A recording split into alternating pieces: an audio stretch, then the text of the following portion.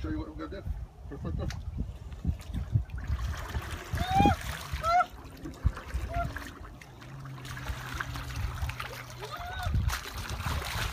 And then the look, if you roll over, if you roll over, you can just float like this.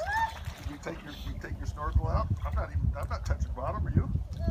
You can, you can take your snorkel out and talk all you want. I'm scared. See? There's nothing's gonna hurt you. It is just, it, You can, it's awesome down there. you can take your snorkel out and talk as much as you want. When you're ready, just roll over. Yeah, but that have to stop my heart from beating.